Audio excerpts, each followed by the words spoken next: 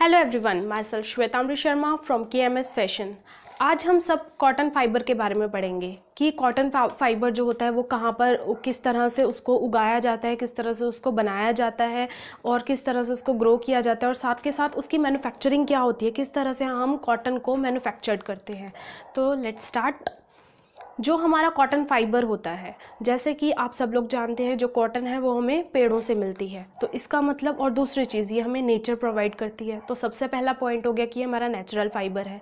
फिर ये हमें पेड़ों से मिलती है तो ये प्लांट फाइबर या वेजिटेबल फाइबर भी बोल सकते हैं। तीसरी चीज़, ये हमें इसको हम सेलुलोजिक फाइबर भी बोलते हैं बिकॉज़ ये हमें जो है सैप जो होता है सेलुलोज का, उससे मिल बनती है।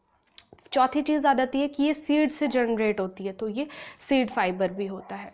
अब जो कॉटन है, वो अप्रॉक्सीमेट अगर हम सोचेंगे तो 52 परसेंट और अबव हमारा हमारा जो क्लोथिंग है, वो कॉटन फाइबर से मिलके बनती है। तो हम कॉटन को इसी चीज़ के लिए इस्तेमाल करते हैं।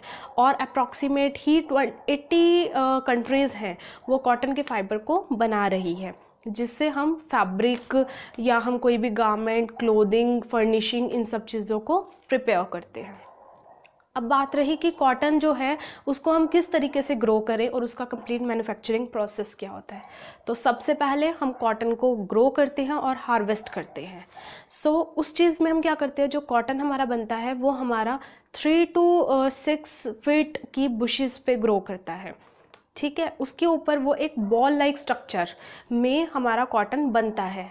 ये बॉल लाइक स्ट्रक्चर क्या होता है जब राइप हो जाता है, जब ये अच्छे से कहते हैं, वो पक जाता है तो ये स्प्लिट कर जाता है, फट जाता है और इसके अंदर से जो कॉटन का हमारा फाइबर है, वो बाहर निकल जाता है। कॉटन का फाइबर कैसे होता है कि उसमें सीड्स होते हैं और उसके साइडों में हमारे हेयर्स होते हैं कॉटन के।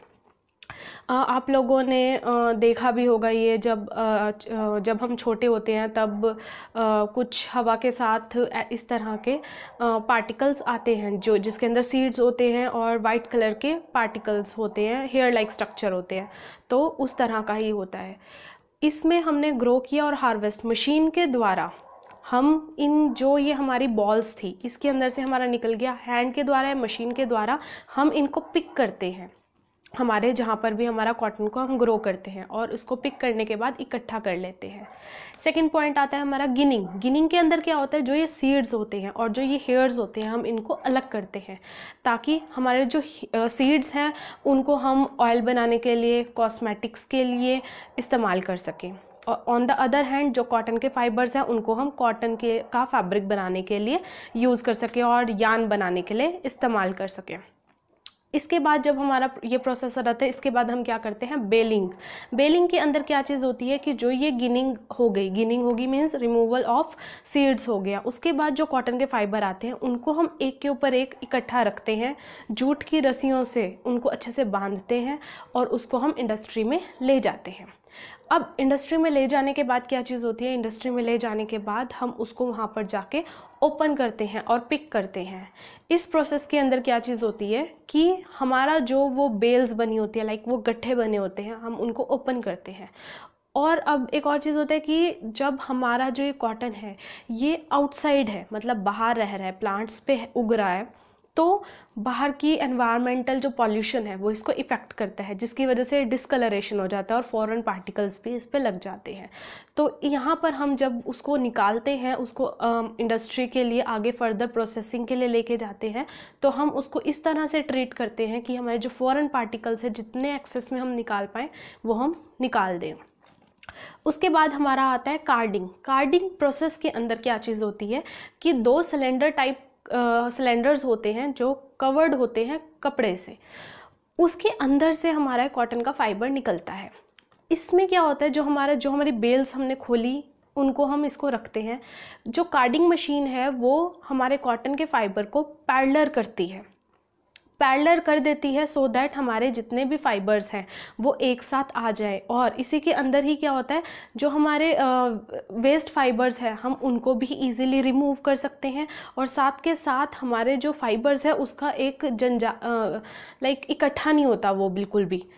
ठीक है? उसके बाद आता है हमारा कॉम्बिंग प्रोसेस कॉम्बिंग प्रोसेस बहुत इंपॉर्टेंट है। लाइक like, अगर आप हेयर कॉम करते हैं तो उसमें क्या आता है? शाइन आ जाती है। उसके अंदर क्या होता है, जो भी इकट्ठा हुआ हुआ लॉफ्ट होता है, वो हमारा रिमूव हो जाता है। तो सेम एज़ यहाँ पर भी, जो हमारा वेस्ट जितना भी फाइबर होगा, वो हमारा रिमूव हो जाएगा। और एक पर्टिकुलरली लाइक जो ज़्यादा शॉर्ट फाइबर्स होते हैं, वो इस प्रोसेस में निकल जाते हैं। और एक अप्रोप्रिएट लेंथ के फाइबर्स और एक और चीज़, जो अच्छी क्वालिटी के फाइबर होते हैं कॉटन के, वो ही रह जाते हैं। सो so, कार्डिंग के बाद हम कॉम्बिंग का प्रोसेस करते हैं उसको अच्छे से कॉम करने के लिए। कॉम्बिंग के प्रोसेस के बाद हम आ जाते हैं उसके स्लीवर्स बनाते हैं। स्लीवर्स बनाने के लिए क्या चीज़ करते हैं? अब उन्हीं को हम इकट्ठा रखते हैं एक दूसरे के ऊपर। थिन जैसे कि वन इंच थिक उसकी स्लीवर्स बनते हैं उसकी लेयर्स बनती हैं हमारे फाइबर की।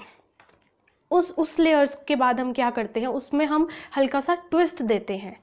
ट्विस्ट हम किस चीज़ में देते हैं? ड्राइंग में। ड्राइंग क्या प्रोसेस होता है? चार एक सेल्स बने होते हैं। चार अलग अलग ड्रॉवर्स बोलते हैं उसको। ड्रम्स होते हैं जिसके अंदर हमारा फाइबर जो है, वो उसके अंदर जाता है। जो स्लीवर्स है, वो उसमें जाते हैं। इसकी बेसिक एक चीज़ है, जो पहला रोलर है या पहला ड्रॉवर है, वो कम स्पीड का होगा, उससे अगला उससे ज़्यादा स्पीड का होगा, उससे अगला उससे ज़्यादा, और फोर्थ इज़ पहले दूसरे तीसरे से सबसे ज़्यादा स्पीड का होगा। इसके अंदर क्या चीज़ होती है? जो हमारा फाइबर होता है, उसका डायामीटर कम होता रहता है और उसकी एलोंगेशन लेंथ बढ़ती रहती है। नेक्स्ट प्रोसेस है हमारा रोइंग उसके अंदर क्या होता है कि अब हम कंप्लीट ट्विस्ट दे रहे हैं अपने फाइबर को।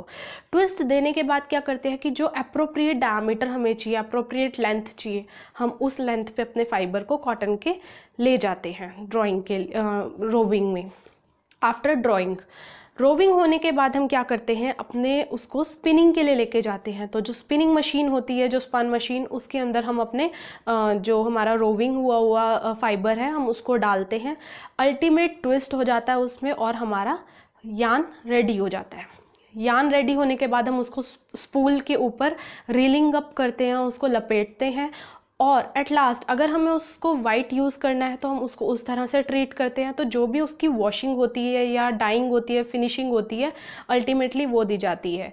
तो ये जो हमारे सारे के सारे स्टेप्स थे, आपको समझ आ गए होंगे, ये हमारा ग्रोइंग से लेके उसका यान बनाने तक का प्रोसेस है।